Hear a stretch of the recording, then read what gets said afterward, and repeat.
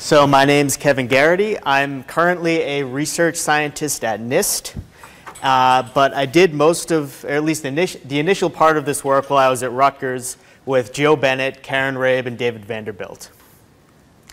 And so an outline of my talk, a lot of the ideas are going to be familiar with you if, if you've been listening to the pre previous few talks, but the basic idea, I'm going to start with the initial design of the GBRV library including the motivation, the testing we designed. And then I'm going to go through how, it has, how the library has evolved with time as new testing has become available and how I've improved a few of the convergence properties. So if I can take you back to when I started this project, the state of open source pseudo-potentials were kind of a mess.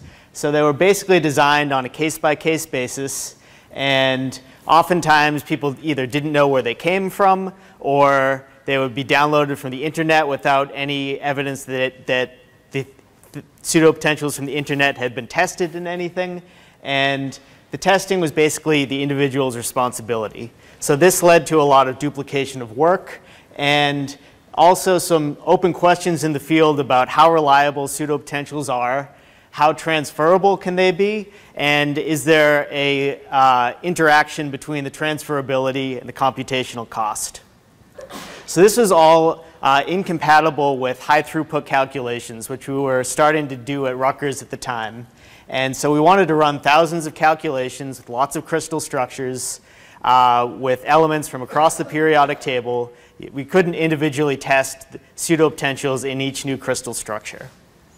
So uh, the design goals of the GBRV high throughput pseudo-potential library were to cover uh, the entire periodic table except for the F block, I, from the beginning, designed the pseudo-potentials to be a balance between the most accurate possible results and uh, ha having a low plane wave cutoff. So to do that, I used in, I designed both, I'm using the Vanderbilt Ultrasoft code, I designed Ultrasoft pseudo-potentials for Quantum Espresso and PAWs for ABINIT. And also for simplicity of use, I wanted the pseudo-potentials to all run adequately at, at about 40 Rydberg cutoff. And of course, we want the pseudo-potentials to be transferable, not to only work for elemental tests. So the testing suite I designed, uh, which you've heard a little bit about before, includes uh, FCC and BCC elemental tests, uh, also rock salt structures to test low oxidation states, perovskites to test some higher oxidation states, and uh, half-Heuslers so those have a combination of covalent bonding, metallic bonding, but they still have a very simple crystal structure, only three atoms. And I focused on, uh, as some of the previous talks mentioned, I stuck to crystal structures with small cubic systems so we could run the tests efficiently. But using this sort of suite, we could still span most of chemical space, at least the relevant parts of chemical space. Uh, and the observables I looked at, lattice constant, bulk modulus, the energy difference between the FCC and BCC uh, energy uh, crystal structures, and also a little bit of magnetic moments of oxides, although a lack of magnetic testing was a problem with this initial test set. And I compared to all electron Wien 2K calculations, which I performed as part of this uh, as part of setting up this set of calculations. I think that these all electron calculations could be improved upon, and so that is certainly a direction for future work, future experts with these various all electron codes. And I know there's work, there's obviously work being done by people at this conference in that direction. I'm going to show some results for both my libraries with VASP and Quantum Espresso, and several other libraries. These are often older versions of the libraries which were available when I was doing the testing. So you heard about the JTH set in the previous talk. There's also two versions of PSLib with a high cutoff and a low plane wave cutoff. Uh, the low plane wave cutoff is sort of more comparable to my set, and then an older version of the VASP PAWs. So I'll show a couple uh, plots like this which have a bunch of elements. And this is the lattice constant percentage error. Uh, the GBRV results, which I'm going to focus on, are the, with the solid lines to help them stand out from the other pseudopotential sets. And you can see that basically all of these pseudopotential sets now agree on the FCC lattice constants to within I plus or minus 0.2% error. If we move on to uh, testing sets of different oxidation states, this is the percentage error for a bunch of perovskites I designed. So at least in my testing, I stuck to sort of chemically realistic oxidation states. So not like, so yeah, only, so some examples of 3 plus, 4 plus ions, and most of the pseudopotentials agree for most of the compounds, but we do identify some problematic ones uh, so this is why it's important to test many oxidation states, as was mentioned by the previous speaker. Uh, so again, uh, this is one last testing set. This is the half Heuslers. I realize you won't be able to read all the different compounds I looked at, but part of the reason I tested so many different compounds is I wanted to make sure I wasn't, uh, I guess, overfitting to a small number of test sets. Make sure I could reproduce a wide variety of, uh, wide variety of atomic properties. So summary of the testing results. We typically get lattice constant errors of less than 0.2% across this range of compounds. And uh, we can also look at the small number of materials outside this range. So having a good average result isn't very useful if you want to study a material which is problematic. And this is what some of the other pseudo-potential sets look like. The PSLib high library, high accuracy library is very accurate. The VASP PAWs are quite accurate. And some of the other ones struggle with some of the, some of the older uh, versions of these libraries struggled with the uh, with some of the compounds. So the GBRV uh, pseudopotentials were basically a good combination of speed, uh, precision, and transferability. So here's a few more details on the convergence results. So this is the plane wave cutoff necessary to converge the lattice constant of the FCC structure within 0.1%. We can see sort of typical patterns you'd expect. 2p elements, 3d elements, and then elements with semi-core states are some of the most difficult to converge with a low plane wave cutoff.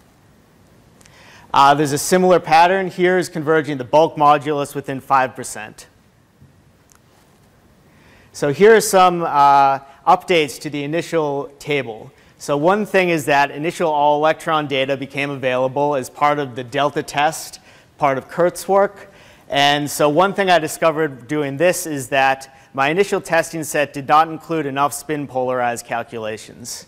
So in particular, manganese, chromium, iron, and these are some of the most problematic elements typically.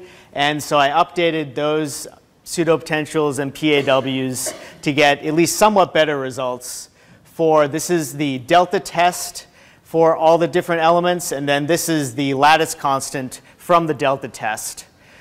And also a second problem is that nitrogen, oxygen, fluorine bonds that short covalent bonds do tend to cause problems with the plane wave cutoff I was aiming for. So this is sort of a limitation of the scheme I am working with, where if you really want to study organic molecules, I would not recommend using these pseudopotentials. Uh, and so this is a summary of the delta test. I've highlighted the GBRV results with three different codes. And you can see they're largely comparable to other ultrasoft PAW libraries. Uh, I also extended the delta test formalism to work with uh, a zinc blende testing set. So this was new all-electron data, which covers a similar chemical space to the rock salt testing data, but with a different mix of anions, cations, and of course a different crystal structure. And we can see delta values are mostly less than 2 MeV, which is a range of, which is typically good enough for most calculations. Uh, I also did some work on trying to improve the uh, convergence of the calculate of the pseudopotentials with the quantum espresso linear response code.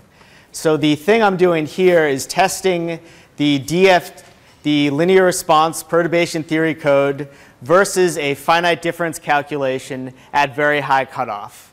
And so the two systems I tested are the optical mode of a BCC conventional unit cell, two atom unit cell, or a rock salt structure. And so this is at different plane wave cutoffs. So 40, uh, 45, 60 Rydbergs. This is the error in terahertz of that optical mode. So you can see that at the high plane wave cutoff, the linear response agrees with the finite difference, which is good. Otherwise, we'd be in big trouble. And the, but even at moderate plane wave cutoffs, it's possible to get good results for the optical modes. Uh, one thing I should mention is that these are probably the easiest modes to converge. So if you look at the acoustic modes, the convergence, the error is significantly larger. So in a simple system, you can apply the acoustic sum rule, you can enforce the acoustic sum rule, you can fix that, but low-lying uh, modes can be more difficult to converge. Uh, so in Outlook, the GBRV pseudopotential library has been a useful uh, contribution to the community. It's been used in a bunch of different papers. Uh, some lessons I've learned along the way. Systematic testing is key to get robust results. Uh, errors of different valence states are often unrelated, and they need to be tested separately. Uh, initially, I didn't include enough spin polarized testing. That's something I'm still working on. And convergence can vary between linear response calculations and uh, total energy calculations. And so some outlook in the field. I think modern pseudopotential sets largely agree with the available all-electron data. And I'd encourage experts in doing all-electron calculations to uh, improve on a lot of the all-electron data that I've published. And also, a different area we could push that has gotten a little less attention in this workshop is can we move toward lower cutoffs, better convergence properties? That was really a focus of this pseudopotential library from the start. So thank you.